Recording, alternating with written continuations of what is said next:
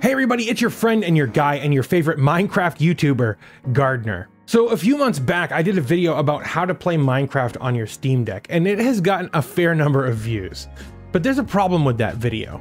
In it, I recommended a community-made Minecraft launcher called PolyMC. Now, I don't know if you've heard, but the PolyMC development team had a hostile takeover by one rogue developer, this dev has kicked everybody else out of the team, and they now have control over the source code of the launcher. They've also made it known that they have absolutely no respect for a huge portion of their user base. Therefore, PolyMC can no longer be trusted on your system. If you already have it installed, it's a good idea to remove it from your PC, either your Steam Deck or your computer. Thankfully though, there are other options out there, and I'm going to show you in this video how to run Minecraft using GD Launcher.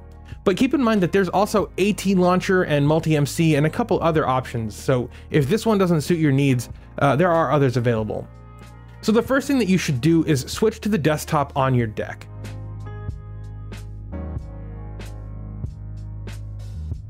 Now go to the Discover store and search for GD Launcher.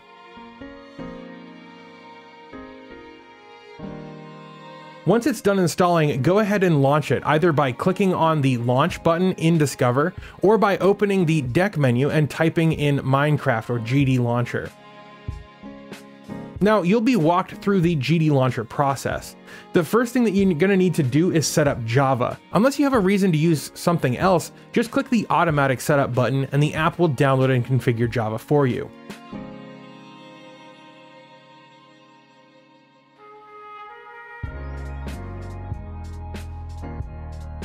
Once this process is complete, you'll want to log into your Minecraft account. And if you've already linked your Minecraft account with your Microsoft account, use that instead.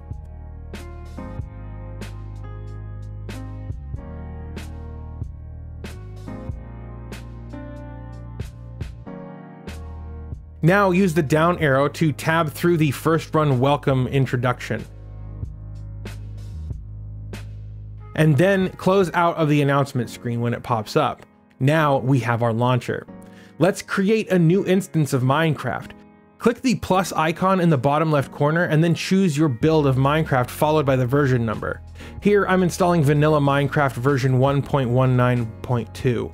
This will download and install the version that you've selected. And it should be noted that you can download multiple instances of Minecraft, which is handy if you want to use mods that work with older versions of the game, but not the current version. While it's downloading, let's go ahead and open up the settings panel with the gear icon on the top of the window.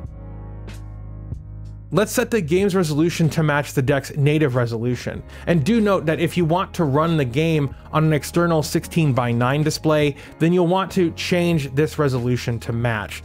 Something like 1080p or any other such resolution. Otherwise, you'll end up with letterboxing on the sides of the screen like this. It's not done downloading yet, so while we wait, why not like that smash button and give the subscribe button a squeeze? It's because of folks like you that we're nearly at 100,000 subscribers. And when we hit 100k, I'm gonna be giving away a Steam Deck. Well, not this one, but you know what I mean. Make sure you get subscribed, and thanks. Okay, now that we have it set up, let's launch this version of Minecraft to confirm that it's actually working.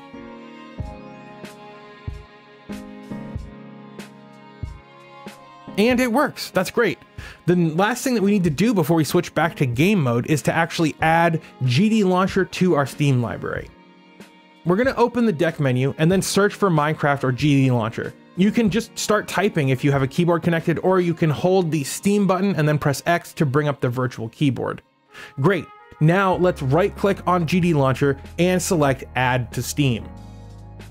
Now, you might notice that there's already a Minecraft installed on my system, and keen eyes might have noticed that it's available for install from uh, Discover Store as well. Unfortunately, this version of the game is not actually able to save your credentials uh, so if you close the app after you've logged in, when you open the app again, you won't be logged in anymore, and that's super annoying. Uh, so that's why we're using GD Launcher instead.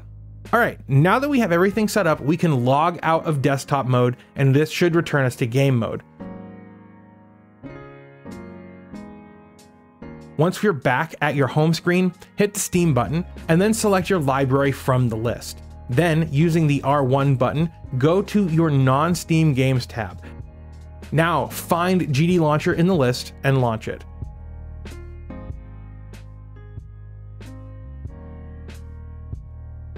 generate a new world, and in the meantime, you're gonna wanna actually set up your controls. Hit the Steam button again and choose controller settings. I've created uh, the Gardiner Bryant Minecraft controls, and I've shared them with the community. It aims to be an intuitive layout for the Steam Deck. Feel free to download it and modify it to your heart's content, or leave any suggestions in the comments. Do note that this layout assumes that you have auto jump enabled and that you've set sneak to toggle rather than hold.